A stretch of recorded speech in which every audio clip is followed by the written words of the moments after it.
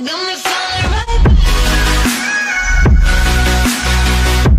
guys, welcome back to my channel. And if you're new, what's up? My name is Vianney Strick. Thank you so much for being here. So today, as you can see by the title, I am showing you this look, which this is just like my go-to everyday look if I am wearing makeup. So if you're interested from looking like this to looking like this, then just keep watching. I really hope that you guys find this video helpful. And if you do like this video, please make sure to give it a big thumbs up and subscribe to my channel if you want. If you want to join my squad, go and click that subscribe and turn on your notifications if you guys don't want to miss any of my videos. All right, guys, let's get into it. Like I said, this isn't like what I would wear every single day. I actually don't wear makeup every single day, and sometimes I just do my eyebrows, sometimes I just put blush on. This is just like my go to if I am putting makeup on um, but not enough to where I'm putting on a bunch of foundation and things like that. So I hope that makes sense and I hope that you guys enjoy it. Let's for real get started. Okay, so no matter what I'm doing, if I'm wearing makeup or no makeup, I always start out with a sunscreen. This has been my go-to. I talked about it in one of my videos and this is the First Aid Beauty Weightless Liquid Mineral Sunscreen with Zinc Oxide SPF 30. So I'm just gonna put that all over my face. Um, let's put on some cat ears, shall we? So I really like this because it's super lightweight. Um, it is 30 SPF. It looks amazing under makeup and on its own. It's not greasy. If anything, it like makes your skin look even better. It also smells good. There's just, I just love it. And also, as you can see, um, it doesn't give me a white cast. It actually comes out in like almost like a skin tone color if you are around my skin tone, but it blends out completely. And this is what it looks like on the skin and I really really love it and because I do put this on and I already moisturize my face I don't like actually go in with primer for this look so this is about as primed as we are going to get. Alright, so the next step is actually using my Benefit Gimme Brow. So this is a little tinted brow gel. I really love it and I love, if you guys know my channel, you would know. I love putting this on and letting it dry before going in with a pencil. So this is the Benefit Gimme Brow and I've been using the shade 4. So I'm just going to run this on my eyebrows. Uh, I really love starting out with a tinted brow gel, especially for a more like daytime look because this is really going to do most of the work for you and you won't necessarily have to go in super heavy with a pencil after. Honestly, if I was wearing like very minimal makeup, I would just leave it at that. But since we are going to add a little bit more for a daytime look, um, I do just go in with a pencil just to define it. The reason why I like to let it dry before I go in with a pencil is because if you go in with a pencil while it's wet, it's just gonna move around. So you're pretty much messing up everything you just did. So we're just gonna let that be while we turn onto the base. So just because it's an everyday makeup look doesn't mean I'm not going to um, do a little bit of coverage, but I won't be using any foundation. Even though I will cover a lot of my face, it's still gonna be like way lighter. So today I'm gonna be using this concealer. So this is the JCat Staysurance Water Sealed Concealer, and this is in the shade Soft Tan. This is a really good, really affordable um, medium to full coverage concealer. It does dry semi-matte and I love it. So I'm going to put a little under my eyes. So I am putting a lot less than I would if I did have foundation to like highlight. So of course I'm going to cover the under eye bags and then I'm also going to put it in the inner corner. Guys, most of us have the most darkness in the inner corner, so make sure you always get that. Don't skip it. And then I like to do my eyelids just because they are um, a little bit of a different tone of my skin. I have a little bit of redness on my nose, so I put just a little bit on my nose and also on the sides of my nose. If you see me looking this way, it's my mirror.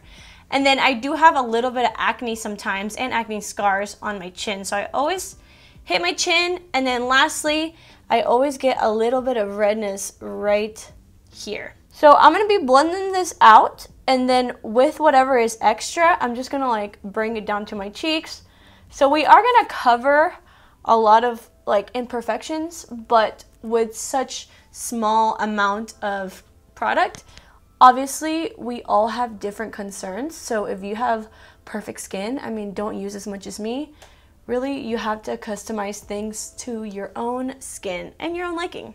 This may look like a lot of product to some people, but keep in mind that I really blended it out like a lot so I made a little bit go a long way. So before we powder I have been absolutely loving cream bronzing and I've been loving doing it with a foundation. So I guess technically we are using foundation but this is only a cream bronze. So I'll be using the Wet n Wild Photo Focus Dewy Foundation in the shade Cocoa. At this point you can use a powder bronzer or a contour stick. I personally just have been loving this and I love this foundation because also, it has a spatula, so for me it's very easy to place where I want to bronze. If you are using this exact same product as me, a little bit goes a long way, so definitely, you know, be careful at first. I'm just gonna do like three dots right there and do the same on the other cheek. I like to bring up my bronzer up my temples.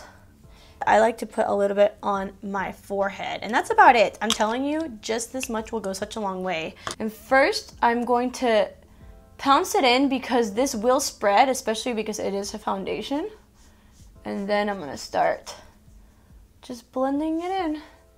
And I love it because since it is a foundation, it does give you a little bit of coverage without actually having to put on a whole thing of foundation.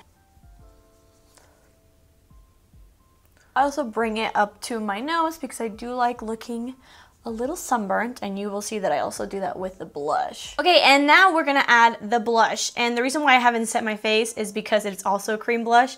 I have been so into liquid and creams lately. So this has been my go-to blush. This is the Grande Cosmetics Grande Pop Plumping Liquid Blush and I'll be using the shade Cinnamon Sugar. Let me just warn you, these are very, very pigmented and they do dry pretty fast. So what I like to do is actually take the doe foot applicator and put just like this much on my hand and then with the brush, I like to swirl it around and then apply it to my cheeks so that you don't get any skipping and it applies evenly. So I'm gonna put that on the apples of my cheeks as well as my nose for that sunburnt, sun-kissed look. I love blush, so I'm gonna apply a lot of it. Now you have your base. So now you wanna go back in with your sponge and just kind of blend anything if it creased because we are going to set everything. So I will be using my go-to powder is the Haley's Beauty Retouch Perfecting Powder. You can get this on their website as well as at Target.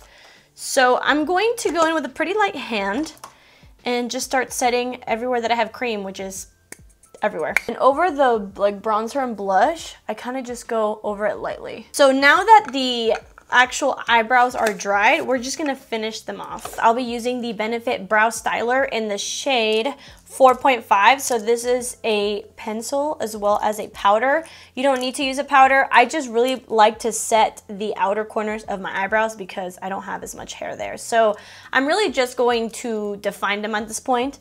But what's cool about it is that now I don't have to fill them in. Okay, so let's just move on to the eyes, finish those off, and then we can finish the face. There's not much left. Now I'm gonna go in with a bronzer. You can go in with an eyeshadow, whatever you want. I just like to go in with a bronzer and just put it on my crease to kind of contour my eyes a little bit and give it some color so they're not super washed out. I'll just be using the Benefit Hoola in Caramel and there's not much to it. Again, I'm just going to give myself a little bit of depth, depth, I have such a hard time saying that word. But you could also just use your cream contour stick if that's what you want. I just do this, this with, and then I put the same bronzer on my lower lash line as well. That really ties in the whole look together and also it's gonna make your eyes look a lot bigger. So I'm going to curl my lashes and then I don't have like necessarily a favorite mascara.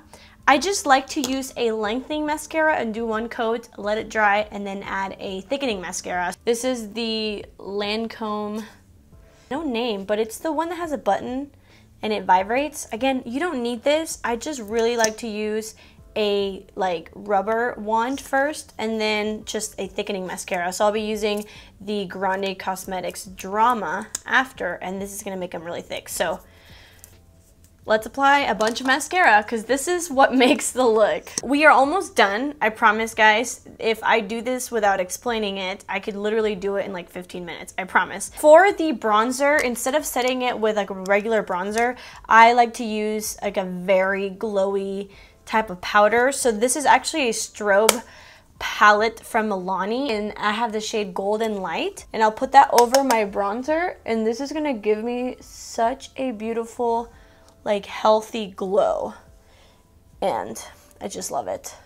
I love doing the cream bronzing because you really don't need that much product to get pigment. And if you're obsessed with blush like me, um, I like to go in with another blush. This is the Wet n Wild um, Color Icon in Mellow Wine. As you can see, I'm pretty flushed, but I just like to overdo it with blush. Um, it is what it is, so I'm just going to go over it because I love it. But you could totally just leave it as it is. And my go-to highlight for like an everyday look is the Essence Pure Nude highlight. They do have different shades. I have the darker one, which is Be My Sunlight, just because I do like to put this all over my face. It'll give you a really good glow from within. So I'm gonna go in pretty heavy-handed, and I'm gonna put this all over my cheeks. See how it's not like super intense, but guys, this gives you like, I don't know, it just gives you such a healthy glow without looking like you have so much highlight.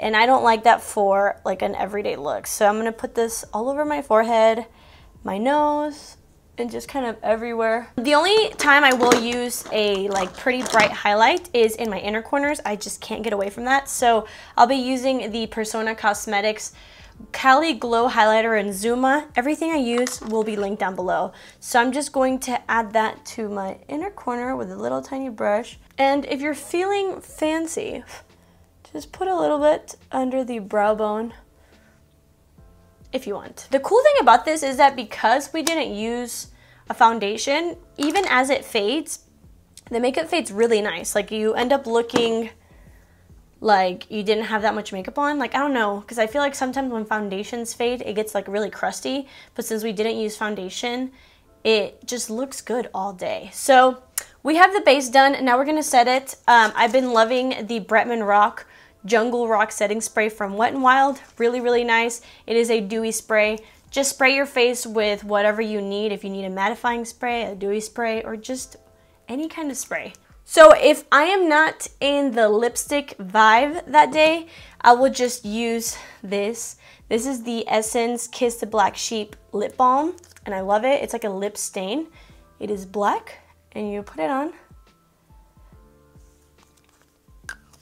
And it makes your lips pink, and it actually does stain them, which I love. But I do have pretty small lips, so sometimes if I'm trying a little bit harder, I do like to line my lips. Go-to liner at the moment and been for a while, Gerard Cosmetics in the shade Sugar and Spice. This is just such a beautiful nude. So I'm just going to line my lips. So that lip liner with the chapstick, see how it looks? My lips obviously look a lot bigger and defined, but it's not as heavy as like a lipstick. We are done, guys. We are done. All right, guys, so this is my go-to look. As you can see, it is obviously like I am wearing a good amount of makeup, but I feel like it still looks really fresh. Um, I don't feel like you can see every single layer that we put on. Just do whatever you want. Don't use as many cream products if you don't want to. Really just take my advice and apply it to your skin type and like just what you like. So I really hope that you guys enjoyed this video. I hope you found it helpful. If you ever see me on Instagram with a pretty like basic everyday look, it's this one. So if you want to, now you can recreate it. Again, I will link everything down below if you guys want to purchase it. And yeah, I really hope that you guys enjoyed this video and you found it helpful. I love you guys so, so much. Go in the comments and come say hi and I will see you guys in my next video. Bye.